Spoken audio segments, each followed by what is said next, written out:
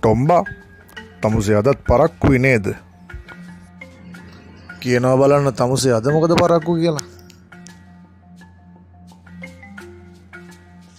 Sir මං එන්නකොට මාම කෙනෙක් පාරි එයාගේ මොකක්ද නැති වෙලා හොය හොය හිටියා. ඉතින් මොනවදේ මනුස්්‍යක නැති වෙලා තිවුණේ රුපියල් පන්දාහක් සර්. ඉතින් ඒ මනුස්්‍යයා එක හොයාගත්තද? එයා එක කොහොම හොයන්නද සර්?